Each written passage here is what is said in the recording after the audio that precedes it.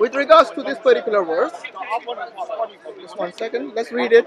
You read the Yusuf Ali translation? Uh, I don't think it's any different to the one that I've got here, which is Sahih International. It says, Allah says, mentioned when Allah said, Oh Jesus, indeed I will take you and raise you to myself and purify you from those who disbelieve and make those who follow you.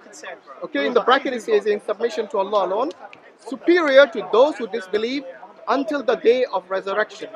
Remember, it's not only talking about the first century or the second century or the fourth century, it's talking about a time period until the day of resurrection.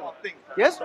If you see most of the people that who believe in a religion, I think the Abrahamic faith stands out. And in the Abrahamic faith, we don't have just the Christians. The Christians came later. It was the Jews who came before them. Do the Jews believe in one God? Yes, they do. Were there some Jews who accepted Jesus as the Messiah? Yes, they were. Were those people persecuted? Yes, they were. Just like the Christians were persecuted, these Messianic Jews were also persecuted. Now we are talking about the time frame. Obviously, Bob the Builder would want to put it only of a time during the time, whatever it is. No, Allah says here, until the day of resurrection. Until the day of resurrection, all the religions in the world. In India, there are billions, a billion uh, Hindus maybe. But do you see that faith superior today? No, it is the monotheistic faith. It is the monotheistic faith around the world.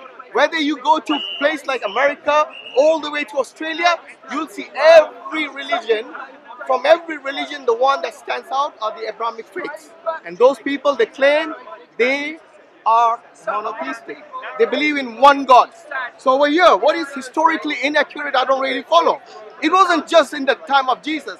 As the verse clearly says, until the day of resurrection. And this is a question to Bob the Builder. Why did he actually just limit it to this early centuries? Or maybe even during the time of Jesus? Okay, may I reply? So, um, Hashim actually has not addressed my question at all. This is uh, just a, a, kind of repeat of how he avoided the questions at our first debate. I asked him very clearly which group could he identify as Muslims from the first century and what was his evidence. I don't remember hearing him mention any group. He just talked generally about monotheism. Is he saying that the Jews of the first century, who all believed in one God, but many of whom who rejected Jesus, because they believed in one God, are somehow Muslims? No, of course he's not. He's talking particularly about people who follow Jesus. So, the claim of the Quran is very clear to those who want to listen, to those who want to take it seriously without manipulating the text. The text stays, Behold, Allah said, O Jesus, I will take thee and raise thee to myself and clear thee of the falsehoods of those who blaspheme. I will make those who follow you superior to those who reject faith. This is a promise of Allah. It's a promise applicable to the first century.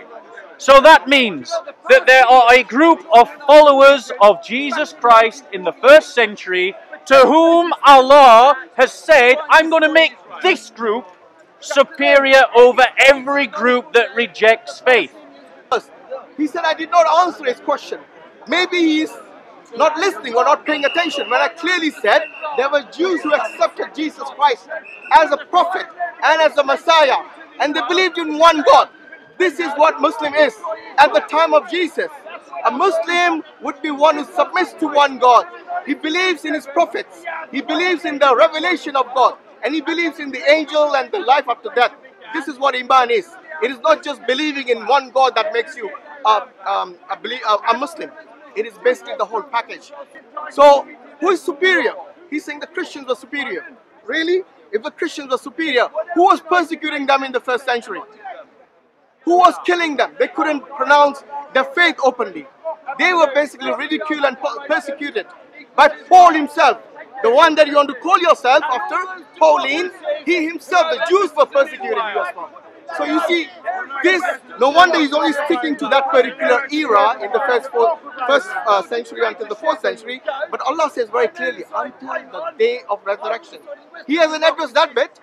He only likes the bit where he says that the followers of Jesus Christ. Allah did not say the worshippers of Jesus Christ. A follower doesn't become someone that you worship. He has to get that right because what you're doing is you're looking at only a small bit of the verse that agrees with his agenda and he leaves out the rest of it, completely ignoring the context of the particular verse.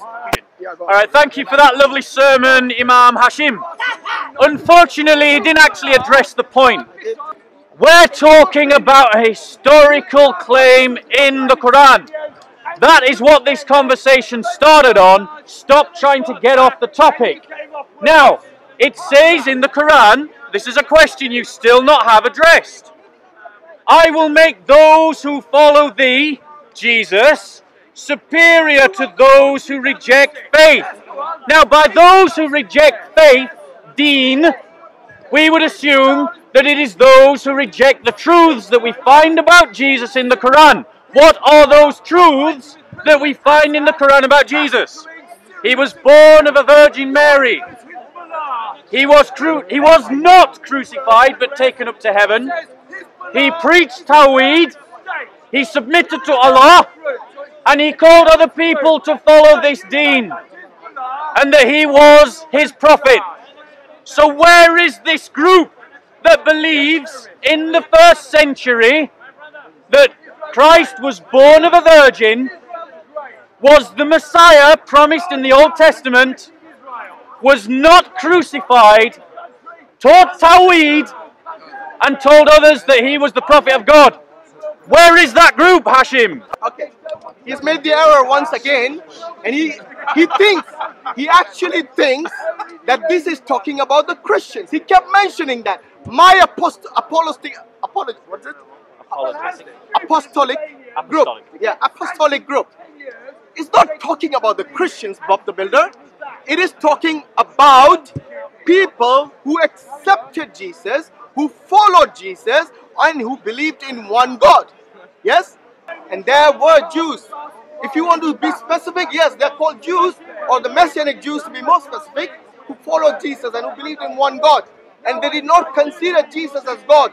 Like it says in verse 4, 171. Can I reply? Yes, please. Okay, so Hashim has made two points that I want to come back on. I think we finally, finally, after the fourth time of asking, kind of got a group that Hashim has almost identified as being the followers of Jesus. Now, let's be clear. The verse in the Quran says that he will make them superior until the day of resurrection. So that means from one generation to the next, these followers, this community, will be superior until the day of resurrection. Now we would expect at the 7th century that these Messianic Jews, as now Hashim has identified, would all become Muslim. And taking you at your word, considering you a man of honour, I would ask you now to bring forth your evidence to show me this Messianic Jewish community that existed from the first to the fourth century that believed the following. Jesus was born of a Virgin Mary. Jesus was not crucified on a cross. Jesus taught Islamic Tawheed. That he taught that he was a prophet of Allah. Show me this group and show me your evidence for them. I think I don't know what it is. Either he's not listening to the conversation we are, that I'm actually telling him. I keep saying that we are not talking. We are not talking about the Christians. Okay, let's let's continue. So yeah, once again, bomb. I don't know, not once again. Yeah, once again, I have to tell you this. We are not talking about Christians. Please get this really, really clear because this is something that you keep missing all the time. I don't know why. We are not talking about Christians in this verse. Why you ask me to show me Christians or the Messianic Jews about or whatever it is from that century only? I'll give you an example. Yes, those people who followed Jesus were the Messianic Jews. I didn't say they were only the Messianic Jews.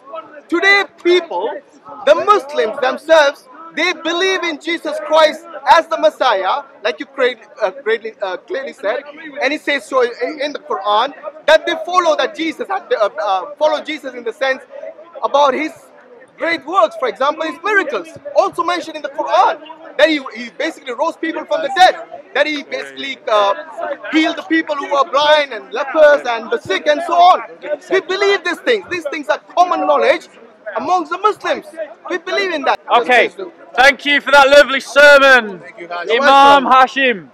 So, once again, Hashim has not brought forth any evidence at all. Not a shred of evidence to support the claim that I'm testing. I am still waiting for you to bring forward evidence that substantiates that there is a community of Messianic Jews who claim that Jesus was the Messiah of the Old Testament, that he was a prophet, that he taught Tawheed, that he was born of a Virgin Mary, and that he was not crucified. I have not yet heard you bring in forth any evidence at all. All the evidence, all the evidence from the history, from the fourth, first to the fourth century, supports the idea that no such group existed. No such group existed. We know about the Ebionites. We know about the Valentinians. We know about the Arians. We know about apostolic Christianity. We know about the Gnostics. We know about the Roman pagans. We know about Greek philosophy. There's plenty of evidence about what was the common beliefs and practices of the time. We know about the Sadducees. We know about the Pharisees. We know about the Herodians. We know about all of these different groups, and yet we find no evidence of this so-called Islamic community that is identified in the Quran. The Quran has made a claim that can be historically tested. It can be historically investigated. And when we investigate it, when we test it, we find there's no evidence to substantiate it. That leaves you with one of two positions.